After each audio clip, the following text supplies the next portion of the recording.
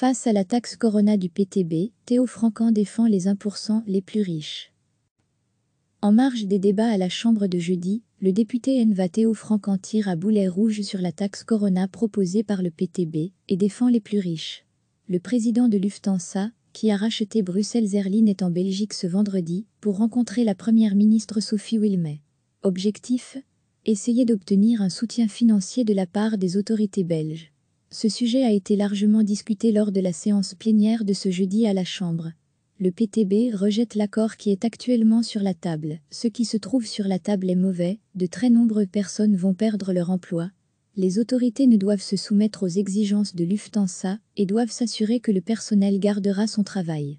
Sinon, la Belgique doit reprendre elle-même en main Bruxelles Airlines et Bruxelles Airport, explique la députée PTB et ancienne syndicaliste à la Sabna, Maria Vindvogel sur le plateau de la VRT.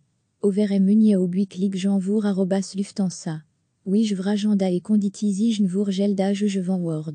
Anders Musta à Bruxelles Airlines en Bruxelles Airport inandant Nemen, Vind Maria Vindvogel, PVDA, Vourmali ACV Vagbondsvrou, ex-Sabna dièse via politica pic.tweeté.com bar oblique hw4xcokn, la position du PTB est aux antipodes de celle de la NVA et notamment du député Théo Francan. Lufthansa est en soi une entreprise saine, mais toutes les compagnies aériennes se trouvent dans une situation très délicate, réplique-t-il dans l'émission Villa Politica.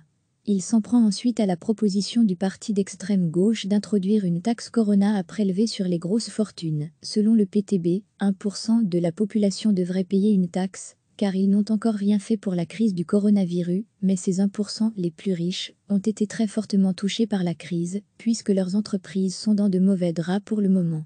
Dai fudi 1% Rijkstan, Dieban, Dizige Naturlige Kilzoar Juraak, Onda Naturlige Calin Bedrige Van Slek Beran Audi Moment pic.tweeté.com barre oblique Comme on pouvait s'y attendre, la discussion s'enflamme de part et d'autre sur Twitter.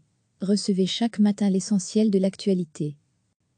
En marge des débats à la Chambre de jeudi, le député Enva Théo Franck tire à boulet rouge sur la taxe Corona proposée par le PTB et défend les plus riches. Le président de Lufthansa, qui a racheté Bruxelles Airlines est en Belgique ce vendredi pour rencontrer la première ministre Sophie Wilmet. Objectif essayer d'obtenir un soutien financier de la part des autorités belges. Ce sujet a été largement discuté lors de la séance plénière de ce jeudi à la Chambre. Le PTB rejette l'accord qui est actuellement sur la table. Ce qui se trouve sur la table est mauvais, de très nombreuses personnes vont perdre leur emploi. Les autorités ne doivent se soumettre aux exigences de Lufthansa et doivent s'assurer que le personnel gardera son travail. Sinon, la Belgique doit reprendre elle-même en main Bruxelles Airlines et Bruxelles Airport, explique la députée PTB et ancienne syndicaliste à la Sabna, Maria Vindvogel sur le plateau de la VRT. Overem Meunier Obuik Ligue Janvour arrobas Lufthansa. Oui je vragenda et conditizi Genvour Gelda je van Word. Anders Musta à Bruxelles Airlines en Bruxelles Airport inandant Nemen, Vind Maria Vindvogel, PVDA, Vourmali ACV Vagbondsvrou, ex-Sabna dièse via politica pic.tweeté.com bar oblique hw4xcokn. Overem Meunier Obuik Ligue Janvour arrobas Lufthansa. Je vragenda et conditizi Genvour Gelda je van Word. Anders Musta à Bruxelles Airlines en Bruxelles Airport inandant Nemen, Vind Maria Vindvogel, PVDA, Vourmali ACV Vagbondsvrou, ex-Sabna. Dièse via politica pic.tweeté.com bar oblique hw4xcokn. La position du PTB est aux antipodes de celle de la NVA, et notamment du député Théo Francan. Lufthansa est en soi une entreprise saine, mais toutes les compagnies aériennes se trouvent dans une situation très délicate, réplique-t-il dans l'émission Villa Politica. Il s'en prend ensuite à la proposition du parti d'extrême gauche d'introduire une taxe Corona à prélever sur les grosses fortunes. Selon le PTB, 1% de la population devrait payer une taxe, car ils n'ont encore rien fait pour la crise du coronavirus, mais ces 1% les plus riches ont été très fortement touchés par la crise, puisque leurs entreprises sont dans de mauvais draps pour le moment. Dai fudi 1% Rijkstan, Dieban, Dizige Naturlige Kilzoar Juraak, Onda Naturlige Calin Bedrige Van Slek Beran Audi Moment.